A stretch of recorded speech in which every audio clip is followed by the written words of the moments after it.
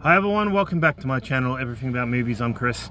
And on today's show, I want to show you all something spectacular I picked up at Savers at Ringwood. Let's do it. I went to Savers at Ringwood here in Victoria, Melbourne, having a look around, and what do I find? Copy of Sleepaway Camp Part 2 on DVD and Blu-ray, like new. I could not believe it. And they only wanted $10 for it. This sells for four to five hundred bucks on eBay in the States. I got the bargain of the century here, folks. Awesome discs. Love the artwork on here. Really cool. This is cool artwork. Priceless. This has a reversible artwork on the cover. No slip, no slip cover with this one, folks. But that's all right.